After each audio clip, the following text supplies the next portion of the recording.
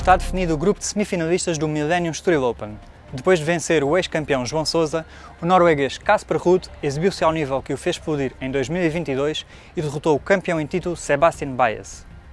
O número 5 mundial reconheceu ter feito a melhor exibição do ano, venceu pela primeira vez dois encontros no mesmo torneio e marcou encontro com o Tomba Gigantes Contan Alice, o francês já tinha vencido Nuno Borges e Roberto Bautista Agut e esta sexta-feira surpreendeu Dominic Thiem para chegar pela primeira vez às meias finais de um torneio ATP.